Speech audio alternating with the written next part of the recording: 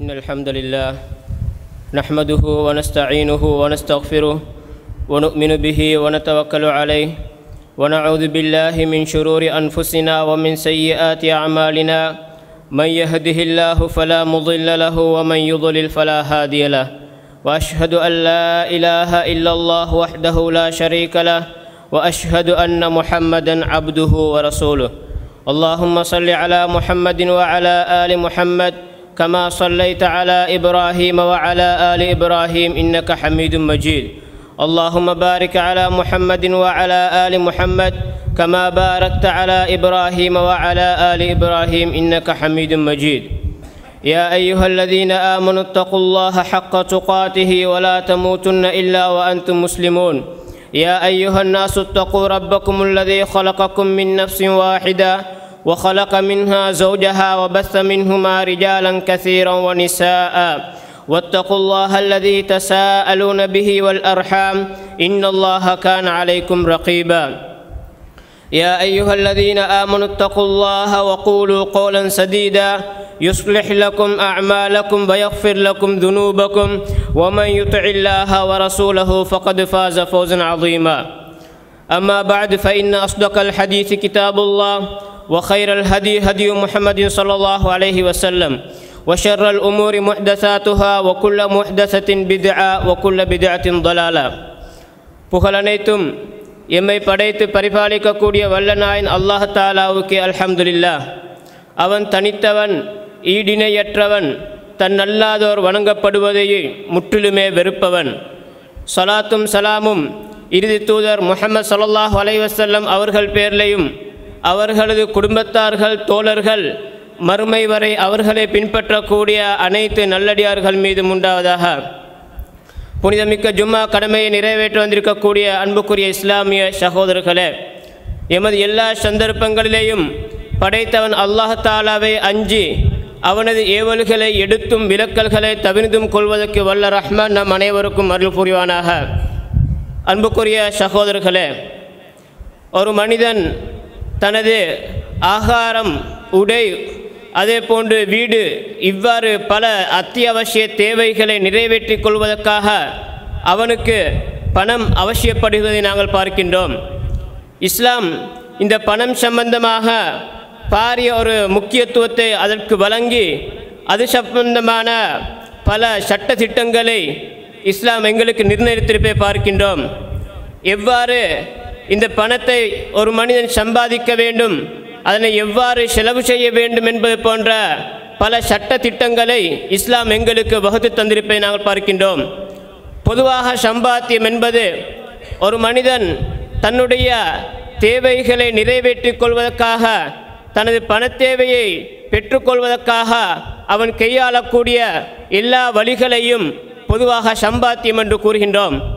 நாங்கள் ஏனையவர்கள் அன்று போலன்று முஸ்லிம்கள் என்ற ரீதியில் இஸ்லாம் அனுமதித்த அந்த சம்பாத்திய முறைகளிலே தான் நாங்கள் எங்களுடைய சம்பாத்தியங்களை மேற்கொள்ள வேண்டும் என்பது நாம் அனைவரும் அறிந்த விடயம். அன்புக்குரிய சகோதரர்களே இந்த சம்பாத்தியத்தை பொறுத்தவரையில் அதிலே பலவிதமான முறைகளை நாங்கள் பார்க்கின்றோம். சிலர் தங்களுடைய உடல் உழைப்பால் தங்களுடைய உடலால் உழைத்து அதன் மூலமாக விவசாயம் கூலி வேலைகள் போன்று தங்களது உடலை அர்ப்பணித்து தங்களுடைய உடலால் அவர்கள் மூலதனமாக அதனை வைத்து சம்பாதிக்கக்கூடிய முறைகளையும் நாங்கள் பார்க்கின்றோம். இன்னும் சிலர் தங்களுடைய அறிவு அனுபவங்களை தங்களுடைய மூலதனமாக வைத்து அதன் மூலமாக சேவை அடிப்படையில் தொழில்கள் புரிவதையும் நாங்கள் பார்க்கின்றோம். இன்னும் சிலர் அவர்களுக்கு இருக்கக்கூடிய பணங்களை வைத்து அதனை முதலீடு செய்து வியாபாரம் போன்ற முறையிலேயும் சம்பாத்தியத்தை மேற்கொள்கின்றனர். இவ்வாறு பல முறைகளிலே நாங்கள் மனிதர்கள் சம்பாத்தியங்களை மேற்கொள்வதை நாங்கள் பார்க்கின்றோம். அன்புக்குரிய சகோதரர்களே இந்த சம்பாத்தியம் சம்பந்தமாகவும் இதில் இருக்கக்கூடிய நல்ல இருக்க வேண்டிய நல்ல பண்புகள் அதே போன்று இருக்கக்கூடாத மோசமான பண்புகள் என்னென்ன முறையான சம்பா சம்பாத்திய முறைகள் இருக்கின்றன அனுமதிக்கப்பட்டது போன்ற பல விடயங்களை அல் குர்ஆனில் நூறுக்கும் மேற்பட்ட வசனங்களில் அல்லா தாலாவுக்கு சுட்டி காட்டியிருக்கின்றான் அன்புக்குரிய சகோதரர்களே பொதுவாக எந்த ஒரு மனிதனும் வந்து தனது அதாவது தன்னுடைய தனக்கும் தனது குடும்பத்துக்கும் செலவுக்கு தேவையான விஷயங்களை அதனை தேவைகளை நிறைவேற்றிக் கொள்வதற்காக வேண்டியும் அடுத்தவர்களிடத்திலே கையேந்தாமல் இருப்பதற்காக வேண்டியும் அவன் சம்பாதிக்கக்கூடிய அனுமதிக்கப்பட்ட அனைத்து சம்பாத்தியங்களுமே நல்ல விடயங்களாக நல்ல சம்பாத்தியங்களாக பார்க்கப்படுகின்றன. இஸ்லாத்திலே யாருக்குமே சம்பாத்தியம் அதாவது சம்பாதிக்காமல் வெறுமனே வீட்டிலே உட்கார்ந்து கொண்டு அல்லில் அல்லது பள்ளியிலே வணக்கம் செய்து கொண்டு அல்லா தாலா ரிசுக்கை தருவான் என்ற எதிர்பார்ப்பில் இருப்பதற்கு இஸ்லாம் அனுமதிக்கவில்லை. ஒரு மனிதன் தனக்கு தேவையானதையும் தனது செலவினத்துக்கு கீழால் இருக்கக்கூடியவர்களுடைய தேவைகளை நிறைவேற்றுவதற்காக வேண்டியும் மக்களிடத்திலே கையேந்தாமல் இருப்பதற்காக வேண்டியும் அவன் சம்பாதிப்பதை இஸ்லாம் ஒரு கடமையாகவும் அதனை வணக்கமாக ஆக்கியிருப்பதை நாங்கள் பார்க்கின்றோம். வமாமின் தாபத்தின் ஃபில் அருளே இல்லா அலல்லாஹி ரிசுகுஹா இந்த பூமியில் இருக்கக்கூடிய அனைத்து உயிரினங்களுக்கும் அவற்றுக்கு ரிசுக் அளிப்பது அல்லா தாலா மீது கடமை என்ற இந்த வசனத்தை ஆதாரமாக காட்டி யாருமே வீட்டிலே சும்மா இருந்துவிட்டு நாங்கள் தவக்குள் வைத்திருக்கின்றோம். அல்லாஹ் பார்த்துக்கொள்வான் எங்களுடைய ரிசுக்கை. அல்லாஹ் பொறுப்பேற்றுத்தான் இருக்கின்றான் என்பதாக இந்த வசனத்தை வைத்து யாரையும் வீட்டிலே உட்காரவோ சம்பாத்தியத்தில் ஈடுபடாமலோ அடுத்தவர்களிடத்தில் சம்பாதிப்பதற்குரிய வசதி அதற்குரிய அதாவது சக்திகள் இருந்தும் அடுத்தவர்களிடத்திலே கையேந்துவதையோ இஸ்லாம் எங்களுக்கு அனுமதிக்கவில்லை. அன்புக்குரிய சகோதரர்களே அல்லாஹ் தாலா குர்ஆன் ஒரு இடத்துல சொல்கின்றான் ஹுவல்லதி ஜஅலலகுமுல் அர்ல தலூலன் ஃபம்ஷு ஃபி மனாகிபிஹா வகுலு மிர் ரிஸ்கிஹி. அவன் தான் உங்களுக்கு இந்த பூமியை வசதியானதாக உங்களுக்கு ஏற்றமான வசதியானதாக ஆக்கி தந்திருக்கின்றான். அதனுடைய பல கோணங்களுக்கும் நீங்கள் சென்று அல்லாஹ் அதாவது அங்கே நடந்து சென்று அல்லாஹுடைய ரிசுக்கிலிருந்து வாழ்வாதாரத்தில் நீங்கள் புஷியுங்கள் உண்ணுங்கள் என்பதாக அல்லாஹ் தாலா சொல்லுகின்றான் இன்னொரு வசனத்தில் சொல்கின்றான் நாங்கள் இப்பொழுது வீட்டிற்கு கூடிய இந்த ஜும்மாவுடைய கடமை இதனை பற்றி சொல்லக்கூடிய இடத்தில் சொல்கின்றான் ஃபைதா குதியத்தி சலாத்து ஃபந்தஷிரு ஃபில் அர்லி வபுதகு மின் ஃபضலில்லா இந்த ஜும்மாவுடைய தொழுகை நிறைவேற்றப்பட்டு முடிந்துவிட்டோன்னு சொன்னால் இந்த பூமியிலே நீங்கள் பறந்து சென்று அல்லாஹுடைய அருளை தேடிக்கொள்ளுங்கள் என்பதாக அல்லாஹ் தலா குரானை சொல்கின்றான் அதே போன்று தான் இன்னொரு வசனத்தில் அலிம அன் சயக்கூனு மின்கும் மர்லா வ ஆஹரூன யதுரிபூன ஃபில் அர்லி எபுதகூன மின் ஃபضலில்லா என்பதாக சொல்கின்றான். உங்களில் ஒரு சார் இருக்கின்றார்கள். அவர்கள் அதாவது பூமியிலே நடந்து சென்று அல்லாஹுடைய அருளை தேடக்கூடியவர்கள் என்பதாக அல்லாஹ் தலா குரானை சுட்டி காட்டுகின்றான் நபி சொல்லாஹ் அலைஹி அவர்களும் சொல்கின்றார்கள் மா அக்கல் அஹதுன் தஆமன் கத்து ஹைரமின் ஐயோ அன் அமல் எதிஹி எந்த ஒரு மனிதனும் தன்னுடைய கரத்தால் சம்பாதித்ததை விட சிறந்த எந்த ஒரு உணவையும் யாருமே சாப்பிடவில்லை என்பதாக நபி அவர் சொல்கின்றார்கள். ஒவ்வொருவரும் சுயமாக சம்பாதித்து அடுத்தவர்களிடத்திலே கையேந்தாமல் சுயமாக சம்பாதித்து உண்ணக்கூடிய அந்த உணவை விட சிறந்த உணவு வேறு எந்தொன்றும் இல்லை என்பதாக அல்லா நபி சொல்லா சுமார் சொல்லியிருக்கிறார்கள் இன்னொரு ஹதீஸில் சொன்னார்கள்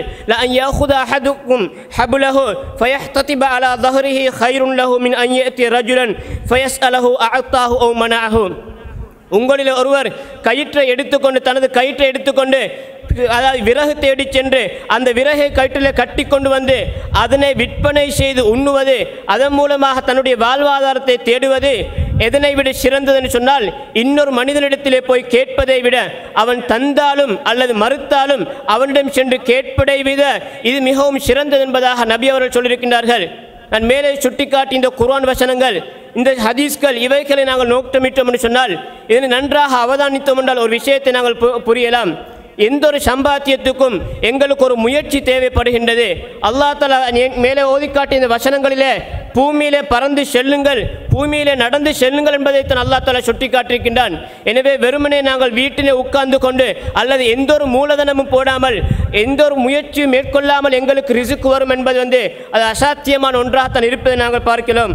அன்புக்குரிய சகோதரர்களே இந்த ரிசுக்கை பொறுத்தவரையில் இமா அதாவது அழகான முறையில் நாங்கள் அதாவது அல்லாஹ் தாலாவிடத்தில் தவக்குள் வைப்பதுடன் அதற்குரிய முயற்சிகளை மேற்கொள்ள வேண்டும் என்பதற்குரிய தெளிவான ஒரு ஆதாரத்தை நாங்கள் பார்க்கலாம்.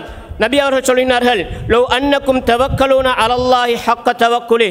நீங்கள் அல்லாஹ் தாலா மீது உண்மையான தவக்குலாக பொறுப்பு சாட்டுவதால் நீங்கள் அவனை சார்ந்திருந்தன்னு சொன்னால் ல ரசகக்கும் கமா எருசு குத்தைர பறவைகளுக்கு அல்லா தாலா உணவளிப்பதே போன்று உங்களுக்கு உணவளிப்பான் என்று சொல்லிவிட்டு சொல்கின்றார் நபியார் சொல்கின்றார்கள் தகுது ஹிமாசன் ஒத்தரு பிதானா.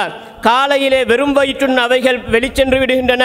மாலையிலே திரும்பி வரக்கூடிய நேரத்திலே வயிறு நிரம்பிய நிலையிலே வருகின்றன. எந்த ஒரு பறவையும் முன்னைய தினத்திலேயே அடுத்த நாளைக்கு எங்கெங்கே போய் இறை தேடு என்பதாக எந்த ஒரு பறவையும் திட்டமிட்டு வைப்பதில்லை. முழுமையாக அல்லாஹு மீது நம்பிக்கை வைக்கின்றன.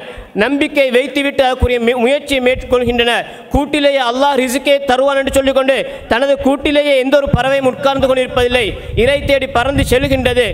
இதனால் தான் இமாம் அஹமது ரஹிமுல்லா அவர்கள் இந்த ஹதீஸ் ஹதீஸுக்கு ஒரு விளக்கம் சொல்லக்கூடிய சொல்கின்றார்கள் ஃபீஹிமா எதுல்லு அல அவர்கள் சொல்கின்றார்கள் ஃபீஹிமா எதுல்லு அலத்தல பிலல் குழுத் அதாவது உணவை தேடி நாங்கள் சம்பாத்தியத்துக்காக முயற்சி செய்து வெளியே செல்வதை பற்றி தான் இங்கே ஹதீஸில் சொல்லப்பட்டிருக்கின்றது.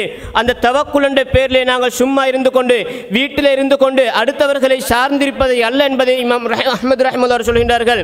அதே போல் நண்புக்குரிய சகோதரர்களே இந்த சம்பாத்தியத்தில் நாங்கள் எங்கள் முஸ்லீம்கள் என்ற அடிப்படையில் எங்களிடத்தில் சில விடயங்கள் இருக்க வேண்டி இருக்க வேண்டியிருக்கின்றது. பொதுவாகவே தொழில் தர்மங்கள்னு சொல்வார்கள். நாங்கள் எந்த தொழிலிலே செய்வதாக இருந்து சொன்னாலும் அந்த தொழிலிலே நாங்கள் பேண வேண்டிய சில நல்ல தர்மங்கள் நல்ல பண்பாடுகள் சில இருக்கின்றன. அது மதத்துடன் தொடர்பட்டது மாத்திரம் அல்ல பொதுவாகவே மனித இயல்புடன் தொடர்பட்ட நிறைய நல்ல பண்புகள் இருக்கின்றன. அந்த பண்புகள் எங்களிடத்திலையும் வர வேண்டும்.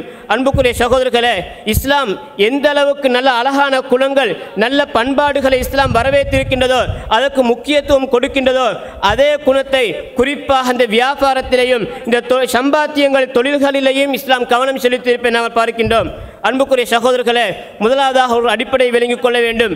எங்களுக்கு இந்த ரிசுக்குகளை தரக்கூடியவன் நாங்கள் எவ்வளவு தான் முயற்சி செய்தாலும் அந்த ரிசுக்கை தரக்கூடியவன் அல்லாஹ் தாலா என்ற நம்பிக்கை எங்கள் அனைவரிடமே இருக்கின்றன.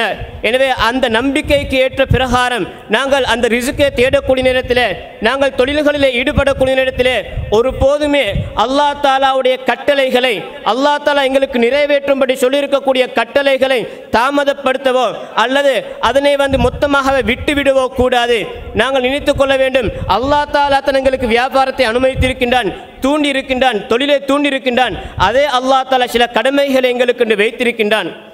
அந்த கடமைகளை நாங்கள் ஒருபோதுமே உதாசீனம் செய்யக்கூடாது. அந்த கடமைகளை நாங்கள் பிற்போடவோ உரிய நேரத்தை விட தானு தாமதப்படுத்தவோ அல்லது மொத்தமாகவே செய்யாமல் விடவோ கூடாது. அப்பொழுது நாங்கள் இவ்வாறு உரிய நேரத்தில் கடமைகளை நிறைவேற்றாமல் இருந்து கொண்டு அல்லாஹ் கடமையாக்கின அந்த கடமைகளை நிறைவேற்றாமல் அவனிடத்திலே நாங்கள் ரிசுக்கை எதிர்பார்ப்பது எங்களுடைய ரிசுக்கிலே பறக்கத்து வேண்டும் என்று நாங்கள் எதிர்பார்ப்பது ஒரு அறியாமையாக ஒரு மடத்தனமான ஒரு செயலாக நாங்கள் பார்க்கின்றோம். என அன்புக்குரிய சகோதரர்களே ஒருபோதுமே நாங்கள் எங்களுடைய அந்த சம்பாத்தியத்தினுடைய நேரத்தில் அல்லாஹுவால் விதிக்கப்பட்டிருக்கக்கூடிய கடமைகளில் ஒருபோதுமே தாமதமோ அலட்சியமோ இருக்கக்கூடாது. இந்த அடிப்படை நாங்கள் முதலாவதாக விளங்கிக் கொள்ள வேண்டும். அடுத்ததாக அன்புக்குரிய சகோதரர்களே அந்த நாங்கள் சம்பாதிக்கக்கூடிய சம்பாத்தியத்தின் மூலமாக யாருக்கும் எந்த ஒரு சகோதர முஸ்லிம்களுக்கோ எந்த ஒரு மனிதனுக்கும் அதனால் எந்த ஒரு இடையூறுகளோ நோவினைகளோ இல்லாமல் பார்த்து கொள்ள வேண்டும். நாங்கள் சம்பாதிக்கக்கூடிய அந்த சம்பாத்தியத்தின் மூலமாக அடுத்தவர்களுக்கு எந்த ஒரு பாதிப்பும் வந்துவிடக்கூடாது அதே போன்றுதான் நாங்கள் அதாவது அடுத்தவர்களிடத்திலே கையேந்தாமல் தண்ணீரை ஏற்படுத்திக் கொள்வது அதே போன்று அல்லா தாலாவை வணங்குவதற்காக உதவி தேடிக்கொள்வது போன்ற நல்ல எண்ணங்கள் இந்த சம்பாத்தியத்தின் மூலமாக நாங்கள் வர வரவழைத்துக் கொண்டோம் என்றால் நாங்கள் உலக விஷயங்கள் எங்களுடைய உலக தேவைகளுக்காக வேண்டித்தான் சம்பாதிக்கின்றோம் என்று சொன்னாலும் அதுவே ஒரு இபாதத்தாக ஒரு வணக்கமாக மாறிவிடுவதை நாங்கள் பார்க்கின்றோம். அன்புக்குரிய சகோதரர்களே ஒரு தொழிலாளி ஒரு தொழில் செய்யக்கூடிய ஒருவர் அது எந்த விதமான தொழிலாக இருந்தாலும் சரி அந்த தொழில் செய்யக்கூடிய ஒருவரிடத்தில் இருக்க வேண்டிய முதலாவது பண்பு என்னன்னு சொன்னால் அமானிதம் இருக்க வேண்டும். அமானத் என்ற இந்த சொல்லுக்கு வந்து அதில் முக்கியமான இரண்டு விஷயங்கள் இருக்கின்றன.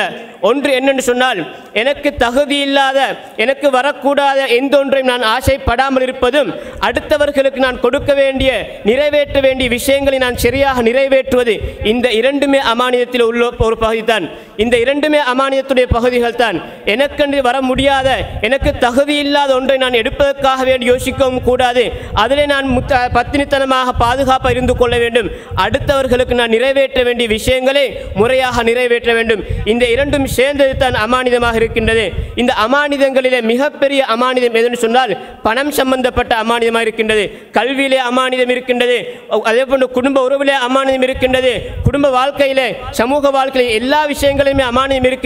அதில் மிக முக்கியமான அமானிதம் எதுன்னு சொன்னால் இந்த ப- அது பணத்தில் இருக்கக்கூடிய அமானிதமாக இருந்து கொண்டிருக்கின்றது. ஏன் காரணம்னு சொன்னால் பொதுவாகவே பணம் என்பது மனிதனுடைய உள்ளத்துடன் இருக்கப்பட்ட மனிதனால் நேசிக்கப்படக்கூடிய ஒன்றாக இருக்கின்றது. எப்பொழுது அந்த பணத்தை எடுப்பதற்கு அவனுக்கு வாய்ப்பு கிடைக்கின்றதோ அந்த நேரத்திலே தானாகவே அவனுடைய உள்ளம் அதன் பக்கம் சாய்ந்து விடுகின்றது. அதனை எடுப்பதற்குரிய முயற்சிகளை தானாக இயல்பாகவே அவன் எடுத்து விடுகின்றான். எனவே தான் இந்த இடத்தில் அமானியம் மிக முக்கியமாக தேவைப்படுகின்றது. எவ்வாறு நாங்கள் எங்களுடைய சொத்துக்களுக்கு யாருமே வந்து அத்துமீற விடக்கூடாது. எங்களுடைய சொத்துக்களை யாருமே அபகரித்து விடக்கூடாது. எங்களுடைய சொத்துக்களை முறையற்ற விதத்தில் யாரும் எடுத்துவிடக்கூடாது என்று நாங்கள் ஆசை வைக்கின்றோமோ அதே போன்று தான் நாங்கள் அடுத்தவர்களுடைய சொத்திலும் இருக்க வேண்டும். அடுத்தவர்களுடைய சொத்தை சுரண்டுவதற்கோ அடுத்தவர்களுடைய சொத்தை நாங்கள் அமானித மோசடி செய்வதற்கோ ஒருபோதுமே நாங்கள் நினைத்து விடக்கூடாது. இது எங்களிடத்தில் இருக்க வேண்டிய முக்கியமான முதலாவது ஒரு பண்பாக இருக்கின்றது. அந்த அமானிதங்களிலே முக்கியமான ஒன்று தான் அதாவது ஒரு பொறுப்பில் நியமிக்கப்பட்டன்னு சொன்னால் அது ப- பணம் ரீதியான பொருளாதார ரீதியான பொறுப்பாகவும் இருக்கலாம். அல்லது ஏனைய தொழில்களில் இருக்கக்கூடிய தொழிலாளிகளுடைய பொறுப்புகளாகவும் இருக்கலாம். எந்த ஒரு பொறுப்பாக இருந்தாலும் அந்த பொறுப்பை உரிய முறையிலே நிறைவேற்றுவது இந்த அமானிதத்திலே முக்கியமான ஒரு பகுதியாக இருக்கின்றது. அதிலே விசேஷமாக பணத்துடன் சம்பந்தப்படக்கூடிய இந்த அமானிதம் இந்த பொறுப்பை நாங்கள் முழுமையாக நிறைவேற்ற வேண்டும். அல்லாஹ் நபிசுல்லாஸ் சொல்கின்றார்கள் மன் அக அம்பாலன் அம்பாலன்னாசி யுரீது அதா அஹா அப்துல்லாஹு அன்ஹு. அதாவது யார்? மக்களுடைய அந்த பணங்களை பொறுப்பேற்கின்றாரோ அதனை திருப்பி நிறைவேற்ற வேண்டும் என்ற அடிப்படையில் யார் மக்களுடைய பொருட்களை பணங்களை எடுக்கின்றாரோ அல்லாஹ் தாலா அவருக்கு பதிலாக அதனை நிறைவேற்றக்கூடிய வழிகளை செய்து அவரை நிறைவேற்ற வைக்கின்றான். ஒமன் அகத அம் அகதஹா யுரீது இத்லாஃபஹா. அதனை யார் அதனை இல்லாமலாக்கி விட வேண்டும் அதனை அபகரித்து விட வேண்டும் என்று அந்த நோக்கங்களிலே அதனை எடுக்கின்றாரோ? அத்லஃபஹுல்லா அதனை அல்லாஹ் தாலாம் அவ்வாறு இல்லாமலாக்கி விடுகின்றான். அதனால் இவருக்கும் நஷ்டம் ஏற்பட்டு மக்களுக்கு மத்தியிலே பாரிய கெட்ட பெயர்கள் ஏற்பட்டு இவர் பெரிய பாவங்களை சுமக்கக்கூடிய நிலைமையிலே மாறிவிடுகின்றார் இந்த இந்த ஹதீஸை இமாம் புகாரி ரஹமுல்லா அவர்கள் சு- சுட்டிக்காட்டுகின்றார்கள். அன்புக்குரிய சகோதரர்களே அதே போன்று தான் சம்பாத்தியம் செய்யக்கூடிய சம்பாதிக்கக்கூடிய எங்களிடத்தில் இருக்க வேண்டிய இன்னொரு முக்கியமான ஒரு பண்பு தான் நீதம் இருக்க வேண்டும். பொதுவாக நீதத்துக்கு ஒரு விஷயம் சொல்லுவார்கள் யார் யாருக்கு எதனை கொடுக்க வேண்டுமோ அதனை முறையாக கொடுப்பது தான் நீதம் என்று சொல்லுவார்கள். இன்னொரு விதத்தில் சொல்லுவார்கள் மஹல்லிஹி ஒவ்வொன்றையும் என்னென்ன இடத்திலே வைக்க வேண்டுமோ அந்த இடத்திலே முறையாக வைப்பது தான் அதில் நீதம் என்று சொல்லுவார்கள். அதுக்கு மாற்றமான தான் அநீதம் அந்த லுதும் என்று சொல்லப்படக்கூடியது. எனவே அன்புக்குரிய சகோதரர்களே அல்லா தாலா குர்ஆனிலே இந்த பொருளாதாரம் சம்பந்தப்பட்ட விஷயத்தில் அல்லா தாலா இதனை தெளிவாக சொல்கின்றான். வஃபுல் கைல் இதா கில்தும் வஸினு பில் கிஸ்தாஸின் முஸ்தகீம். நீங்கள் அளந்து கொடுத்தன்னு சொன்னால் அதிலே நிரப்பமாக முழுமையாக கொடுங்கள். அதே போன்று நீங்கள் நேரான தராசி மூலமாக நேரான நீதியான முறையில் நீங்கள் அதனை நிறுத்து கொடுங்கள் என்பதாக அல்லாஹ் தலா குர்ஆனிலே சொல்லுகின்றான். எனவே பொருளாதாரம் சம்பந்தப்பட்ட இந்த விஷயத்தில் அல்லாஹ் தலா குர்ஆனிலே இந்த கிஸ்து என்ற வார்த்தையை பயன்படுத்தியிருக்கின்றான். வேறு சில இடங்களிலே பொதுவாக அதில் என்ற சொல்லை பயன்படுத்தியிருக்கின்றான். நீதம் என்பதற்கு அல்லாஹ் தலா குர்ஆனில் இந்த இரண்டு சொற்களையும் பயன்படுத்தியதை நாங்கள் பார்க்கலாம். எனவே அன்புக்குரிய சகோதரர்களே அதுக்கு மாத்தமான தன் அநீதம் என்பது எங்களிடத்திலே சம்பாதிக்கக்கூடிய யாரிடத்திலுமே இருக்கக்கூடாத ஒரு பண்பாக இந்த அநீதம் இருக்கின்றது. நபி அல்லாஹ் தாலா குர்ஆன் அதை ஒரு ஹதீஸில் சொல்கிறான் ஹதீஸுல் குதிசையில் இன்னி ஹர்ரம் து துல்ம அலா நப்சி நான் என் மீது எனக்கு ஹரா துல்ம அநியாயத்தை ஹராமாக்கி கொண்டிருக்கின்றேன். வஜஅல்துஹு பைனக்கும் முஹர்ரமா உங்களுக்கு மத்தியிலே நான் அதனை ஹராமாக்கி இருக்கின்றேன் எனவே ஃபலா தவாலமு நீங்கள் அநியாயம் ஒருத்தருக்கு ஒருத்தர் அநியாயம் செய்து கொள்ள வேண்டாம் என்பதாக அல்லா அல்லாஹ் தாலா கூறியதாக நபி சொல்லா அலைஹி கூறுகின்றார்கள். அதே போன்று தன்னுடைய ஹதீஸில் சொன்னார்கள் யார் அநியாயமாக ஒரு ஷான் அளவாவது இன்னொருத்தருடைய காணியிலிருந்து அநியாயமாக ஒரு ஷான் அளவாவது அபகரித்து கொண்டாரோ அந்த ஷான் அந்த அந்த அந்த பூமியுடைய பகுதி மேற்பரப்பு பரப்பிலிருந்து அதை கீழே ஏழு பூமிகள் தாண்டும் வரையிலே அந்த நீண்ட பரப்பு அவ்வாறே நாளை மறுமையில் அவனுக்கு ஒரு மாலையாக அணிவிக்கப்பட்டு அதன் மூலமாக தண்டிக்கப்படும் என்ற செய்தியை நபி சொல்லா அலைஹி சொல்கின்றார்கள். இந்த நீதத்திலே முக்கியமான ஒரு பகுதி என்னென்னு சொன்னால் எங்களுடைய தொழில்கள் சம்பந்தப்படுத்த நாங்கள் எவ்வாறு நீதத்தை கடைபிடிப்பது என்று சொன்னால் அதாவது முதலாவதாக தகுதியானவர்கள் தகுதியானவர்களுக்கு அந்த பொறுப்புகளை நாங்கள் ஒப்படைக்க வேண்டும். யார் யார் என்னென்ன பொறுப்புகளுக்கு தகுதியோ அவர்களுக்குரிய அந்த தகுதி இருந்தன்னு சொன்னால் தான் அவர்களுக்கு நாங்கள் ஒப்படைக்க வேண்டும். அதாவது ஏனைய காரணங்களுக்காக வேண்டி வேறு வேறு மோசடிகளின் அமைப்பிலே இந்த பொறுப்புகளை தகுதி இல்லாதவர்களுக்கு நாங்கள் ஒப்படைப்பது அந்த சம்பாத்தியத்தில் இருக்கக்கூடிய தொழில் தர்மத்துக்கு மாத்தமான ஒரு அநியாயமாக இருந்து கொண்டிருப்பதை நாங்கள் பார்க்கின்றோம். அதே போன்று தான் பணியாளர்கள் தொழிலாளர்கள் சொன்னால் அவர்களுக்குரிய கடமை கடமைகள் உரிமைகளை முறையாக அவர்களுக்கு தெளிவுபடுத்த வேண்டும். சில நேரங்களில் நாங்கள் பார்க்கின்றோம் சில இடங்களிலே பணியாளர்களுக்கு என்னென்ன பொறுப்புகள் என்பது தெரியாது. அவர்கள் அந்த பொறுப்புகளை முறையாக நிறைவேற்ற பட்சத்தில் அவர்களிடத்திலே கேள்வி கணக்கு கேட்கிறார்கள் ஏன் இதனை செய்யவில்லை?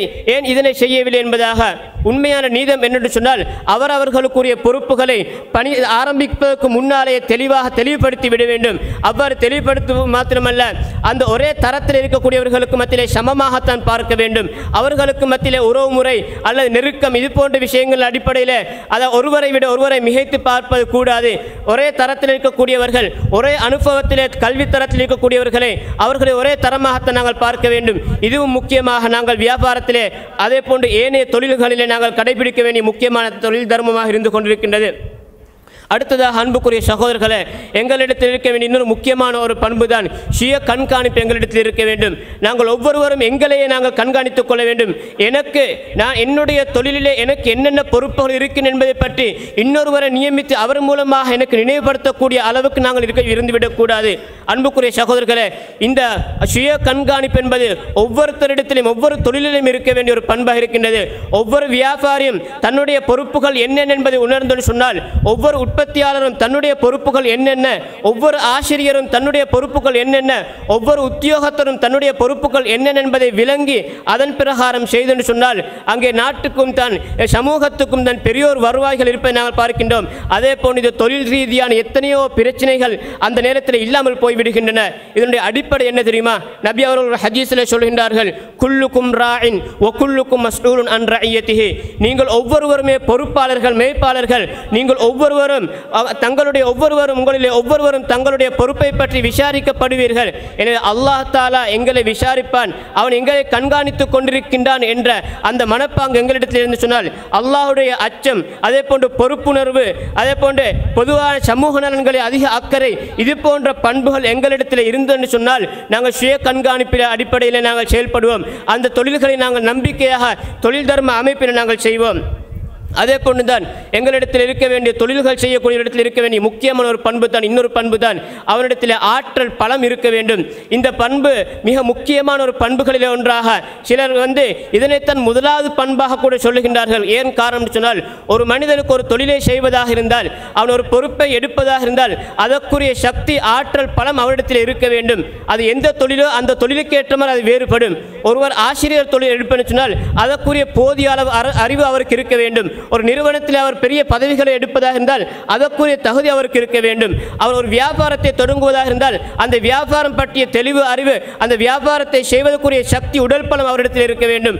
இவ்வாறு ஒவ்வொருவருக்கும் அந்த தொழிலிலே அவர்கள் செய்யக்கூடிய தொழிலிலே அவர்களுக்கு பலம் சக்தி இருக்க வேண்டும். அதனை தன் அழகான முறையில் அல்லா தஆலா குர்வானிலே நபி மூசா அலிஸ்லாம் அவர்களுடைய சம்பவத்திலே சொல்லி காட்டுகின்றான் அந்த அந்த மூசா அலிஸ்லாம் அவர்கள் ஒரு மத்தியன் ஊரிலே ஒரு வயோதிபரை சந்தித்தார்கள். அவருடைய பெண் பிள்ளைகளிலே ஒருவர் சொல்லக்கூடிய வார்த்தை யா அபத்தி இஸ்தஜிர்ஹு இன்ன ஹைர மனிஸ்தஜர்தல் கவியுல் அமீன் என்னுடைய அருமை தந்தையே இந்த மூசா இவரை நீங்கள் உங்களுடைய வேலைக்கு கூலி கமர்த்தி கொள்ளுங்கள்.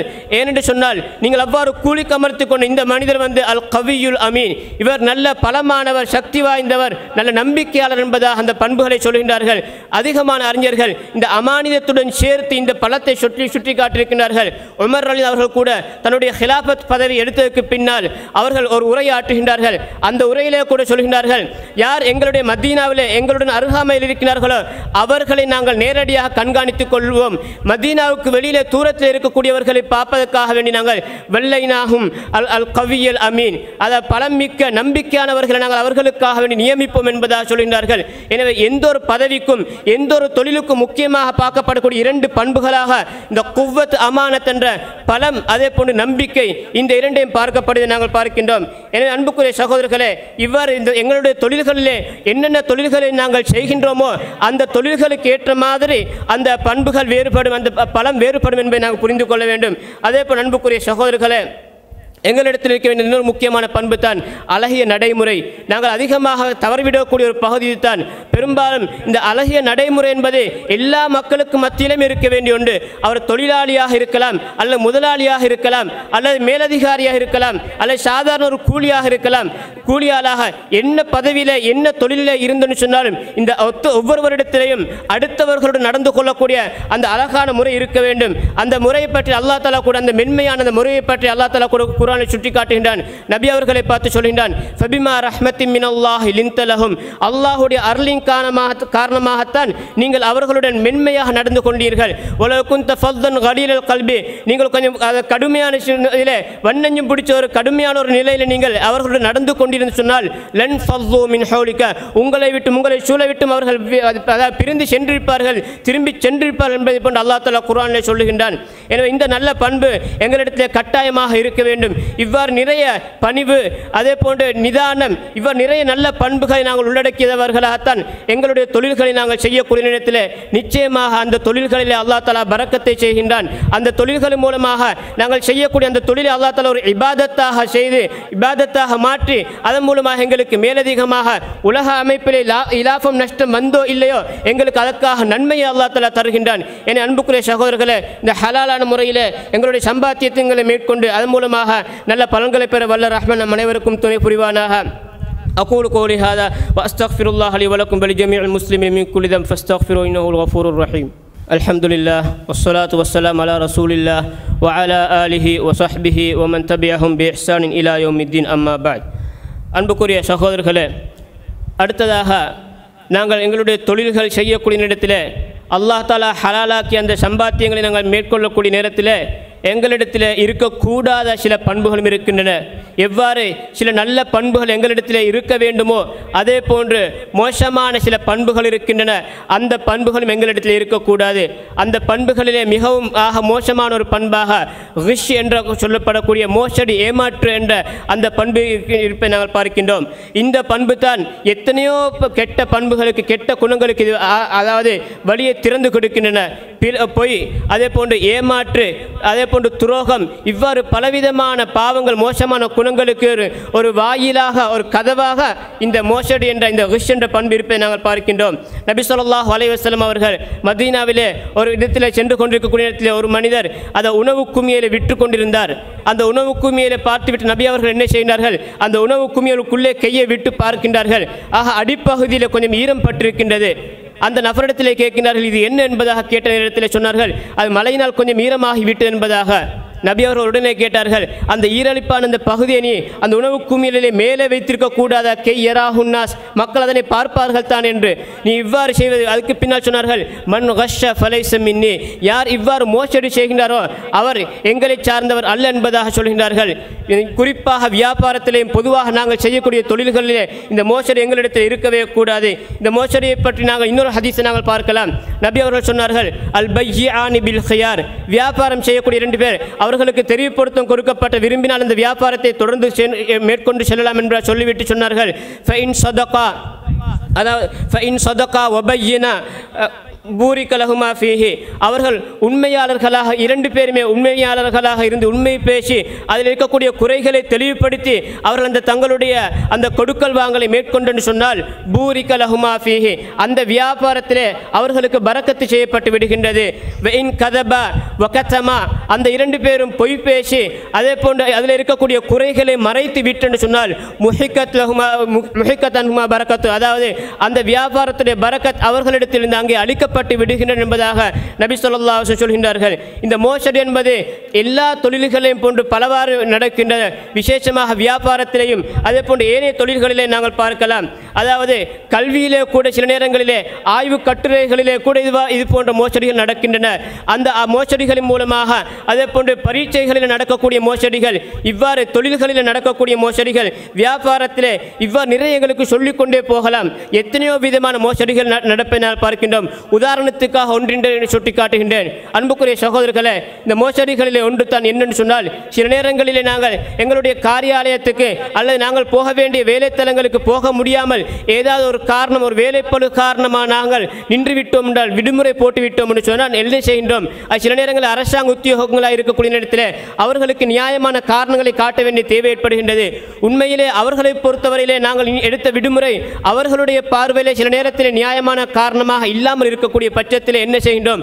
போலியான மோசடியான ஒரு காரணத்தை நாங்களாக தயார்படுத்தி கொண்டு அல்லது போலியாக ஒரு மருத்துவ சான்றிதழை எடுத்துக்கொண்டு நாங்கள் அதனை முன்ப முன்வைக்கின்றோம். காரணம் அவர்களுக்கு ஒரு நியாயமான காரணம் கேட்டு காட்ட வேண்டும் என்பதற்காக வேண்டி.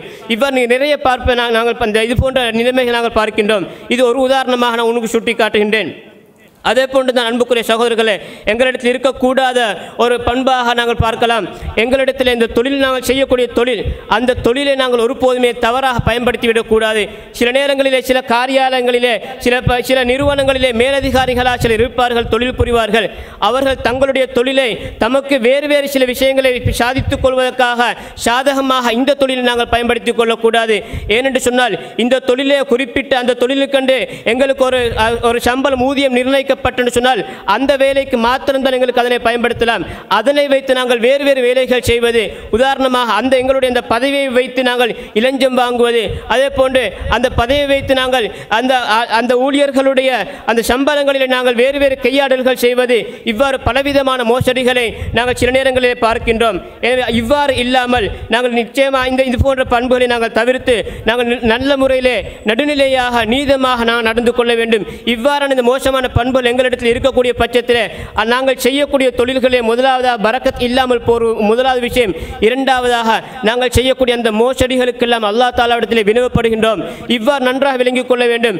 அதாவது விசேஷமாக கடைசி ஒரு விஷயத்தை சுட்டி காட்டுகின்றேன் அதாவது தொழில்களிலே மாத்திரமல்ல எங்களுடைய தொழில்களிலேயும் கூட பதவி உயர்வுக்காக வேண்டி. அதே போன்று சில நேரங்களிலே பரீட்சைகள் நாங்கள் செய்யக்கூடிய ஒன்று தான் மோசடியாக நாங்கள் பரீட்சை எழுதுகின்றோம். அல்லது மோசடியாக ஏதாவது ஒரு வேலையை செய்து அதன் மூலமாக எங்களுக்கு பதவி உயர்வு கிடைத்துன்னு சொன்னால் எங்களுடைய ஊதியங்கள் சம்பளங்கள் அதிகரிக்கும். அல்லது நாங்கள் மோசடியாக பரீட்சை எழுதி அதன் மூலமாக எங்களுக்கு ஒரு பாஸ்கை சித்தி கிடைத்து அதன் மூலமாக நாங்கள் ஒரு தொழிலை எடுத்துக்கொண்டோம்னு சொன்னால் நன்றாக விளங்கிக் கொள்ள வேண்டும். அந்த தொழிலும் அந்த சம்பள உய- உயர்வும் எங்களுக்கு எவ்வாறு கிடைத்தது? ஹராமான வழியிலே மோசடியாக ஏமாற்றி பொய் வேலை செய்துத்தான் நாங்கள் அந்த ச- அந்த பதவி எடுத்திருக்கின்றோம். பொய் வேலை செய்துத்தான் அந்த தொழிலை நாங்கள் எடுத்திருக்கின்றோம் என்று சொன்னால் நிச்சயமாக அது ஹராமான ஒரு தொழில் என்பதை நாங்கள் விளங்கிக் கொள்ள வேண்டும். அது பற்றி நாங்கள் மறுமையிலே விசாரிக்கவும் படுவோம் என்பதை நாங்கள் புரிந்து கொள்ள வேண்டும். எனவே எங்களுடைய இந்த சம்பாத்திய முறைகளை ஹலாலாக என்றால் நாங்கள் முற்றும் முழுதாக இந்த ஹராத்தை வைத்து தவிர்த்து அதாவது என்றால் ஹலாலான முறையில் நாங்கள் நீதமான முறையில் நாங்கள் நடந்து கொண்டு அதன் மூலமாக அல்லாஹ் தாலா எங்களுடைய இந்த தொழில்களில் பரக்கத் செய்வானாக. வாஹிர் தஅவானா அல்ஹம்துலில்லாஹி ரப்பில் العالمين.